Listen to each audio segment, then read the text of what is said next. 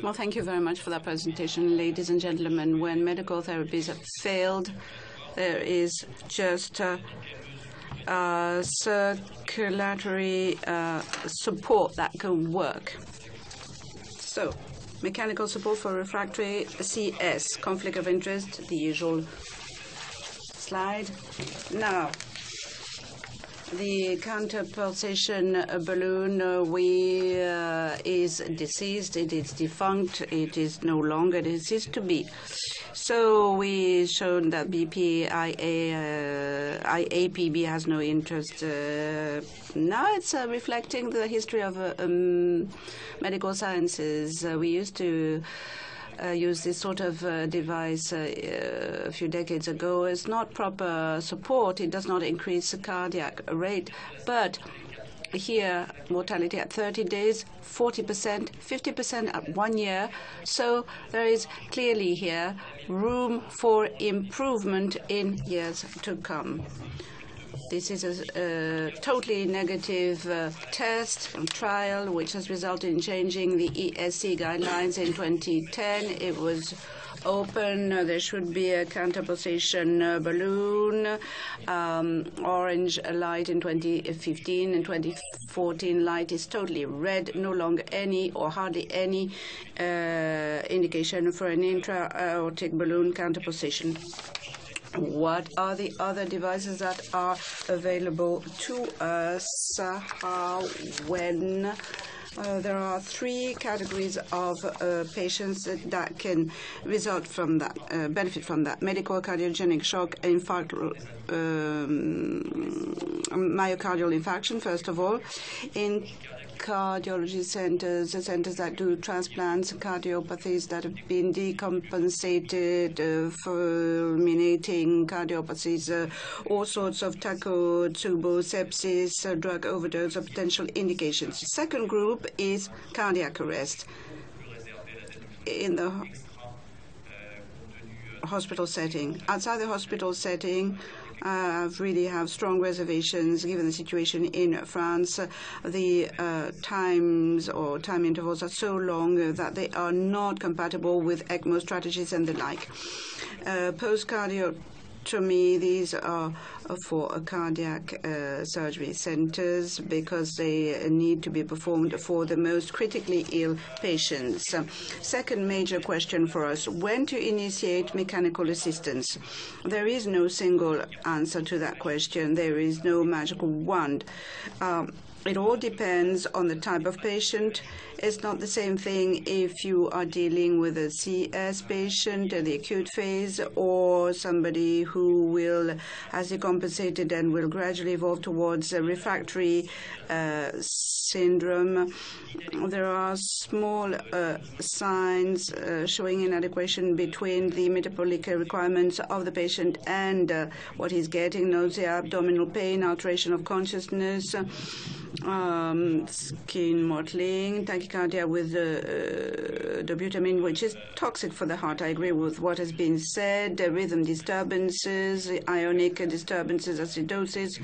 Uh, when lactate is above uh, 2.5 or 3, you have a problem. Hepatic failure, renal failure, Doppler echocardiography essential for the proper management of these patients. It's not the FE, mm, the LVEF here that matters, uh, but when you have a low cardiac output, when AOVTI is below 7, 8 centimeter, you need to discuss with the team the uh, possible use of these machines to prevent disaster here in this uh, patient assisted the Pitié-Salpêtrière for veno-arterial ECMO. Here, there is a cardiac arrest. Mortality shoots up by a ratio of 20. And here, again, with uh, mortality being multiplied by four to seven depending on the cases. So regarding the emergency framework and uh, the classical indications for medical assistance, we had uh, four times of uh, indication, uh, bridge to bridge, bridge to recovery, bridge to transplantation, and destination therapy.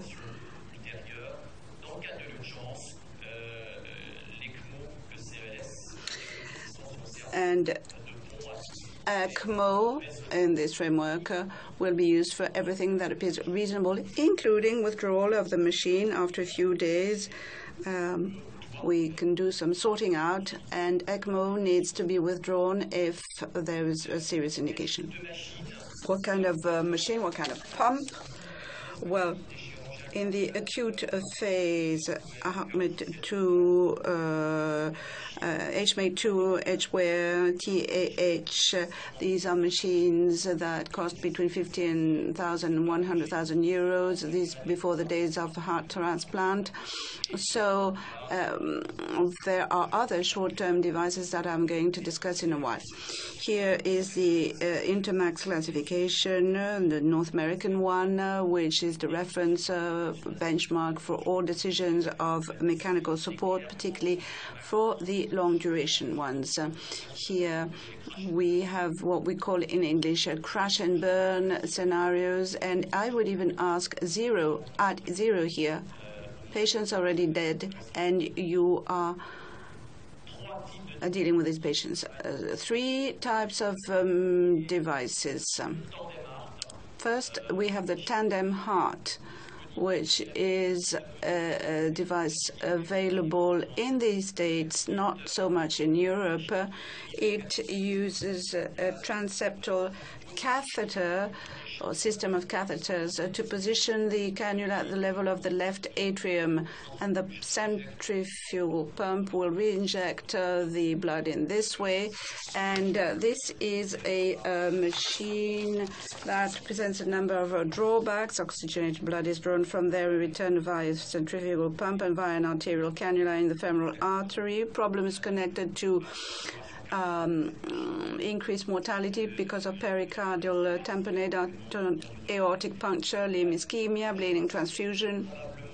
And the main problem is limited flow generating by that form of support. 2.5 liter, 3 liters at the most, not enough very often for a multi-organ failure patient.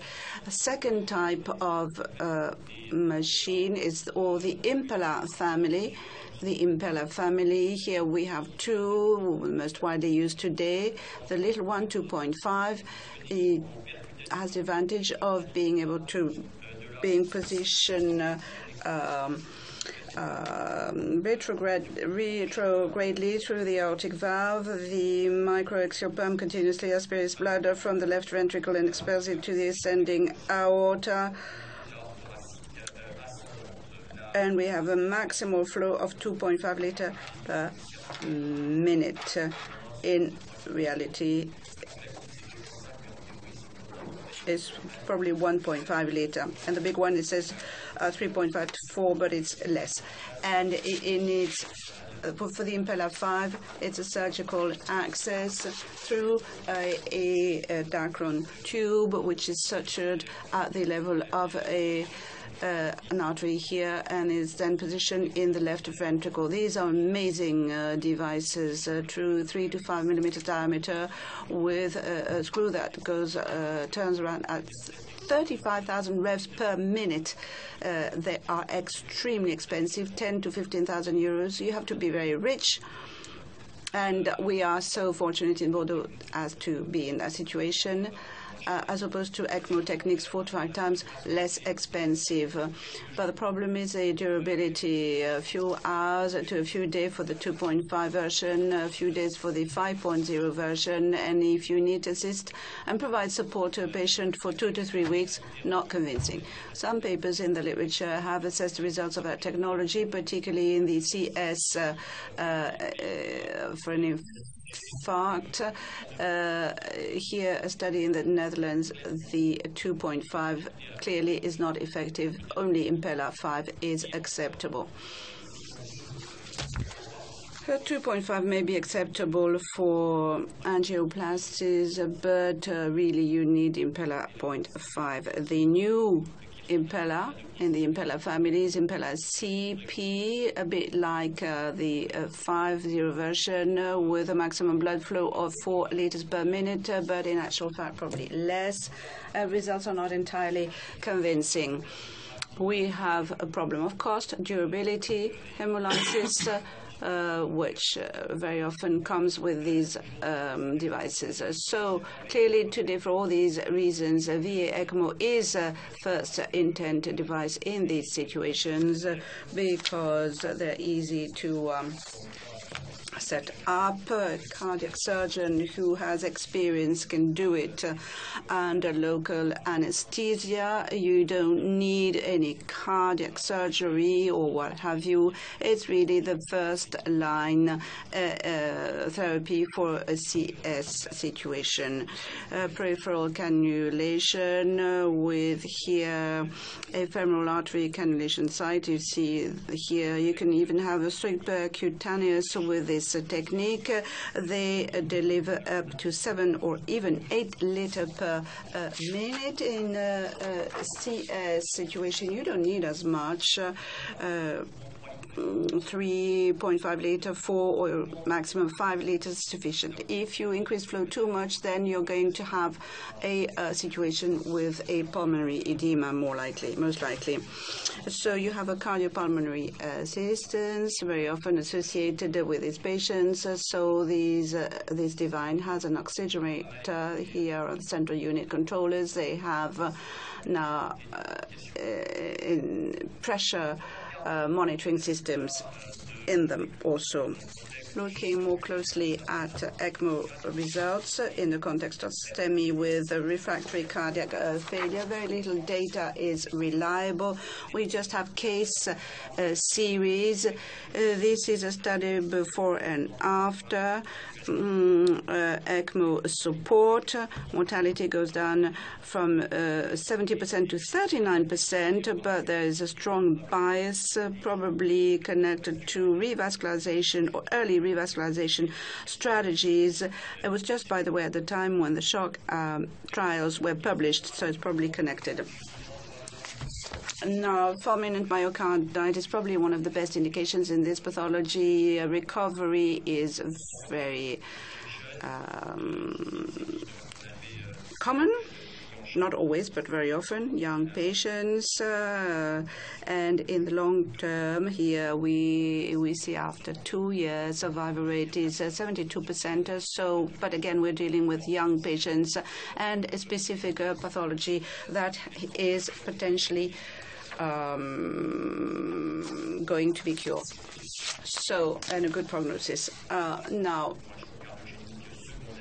here with a, second series and the best series today with mixed results, mortality high in first days or weeks, but survivors uh, have a good prognosis. Then there will be further problems, ethical problems for the patient that has had this device. Well, there's a, a problem if you can't wean them and they are not uh, eligible for transplants cardiac transplants are not possible anymore without these uh, techniques. Before the days of transplants, uh, you had 30% of patients in France uh, who were under ECMO uh, in super emergency situations, any post-op for uh, uh, graft, uh, primary graft failure because uh, of a right ventricle failure or other. With the ECMO, there could be a good recovery from a lot of patients who previously would die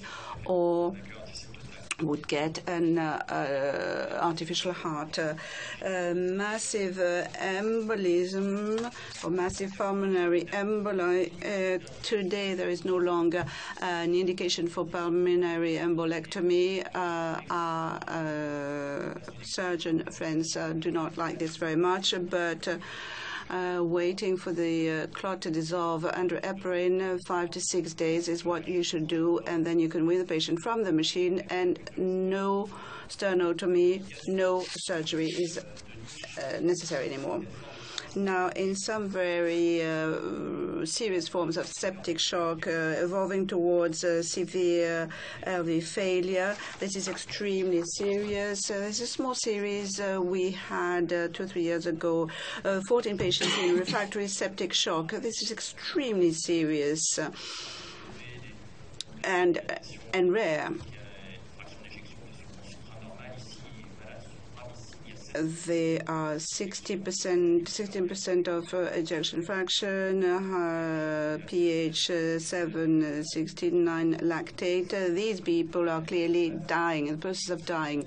And uh, having a veno-arterial uh, ECMO for these patients, uh, well, we saved them uh, almost 70% of them. And uh, some will uh, be switched to another form of uh, ECMO, veno-venous ECMO. So ECMO after cardiac arrest, well, that's uh, quite an issue. Just one message here. If we can start ECMO in the 30 day, uh, minutes following cardiac arrest and the machine is on in the six, within 60 minutes, then you can get this, which is about 30% of long-term survival uh, rate with a patient who, from the neurological standpoint, will be so-called preserved. But in other or all other cases, we should be able to say no or refer these patients to uh, uh, other systems such as um, organ donation Uh, ECMO can also be transported to the patient, taken to the patient, and that's probably the best solution. We have to get ourselves organized at the local, regional, national level with whole networks with reference center in the middle of it all, which is a surgical center, because at one stage or another you will need cardiac surgery with a mobile ECMO rescue team that can scan territory and then take the patient back, if need be, to the reference center. The Pitié-Salpêtrière here in Paris, uh, we have set up the first mobile ECMO uh, unit 10, day, uh, 10 years ago on this paper, you look at the first 10 patients that benefited from this uh, strategy uh, in the Greater Paris area or Ile-de-France area. These patients, at least 50% of them, had a myocardial uh, uh, that infarction that was evolving, uh, dilated myopathies, cardiomyopathies, and in this series uh, we have a long-term survival rate of 35%. We've compared the seven cohorts of patients of mobile ECMO versus a cohort that benefited from ECMO within the hospital setting, and after a multivariate analysis, no impact. So we see that, and recently these results were uh, confirmed. If you can set up uh, the um, system, the machine, before there is too much uh, involvement or disorders, there you're on the right track.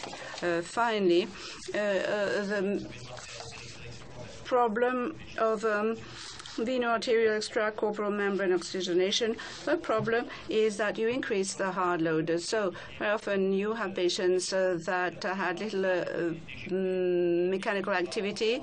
they will stop then you have a hydrostatic pulmonary edema risks associated. And in this situation, you can associate uh, to the ECMO and uh, IABP.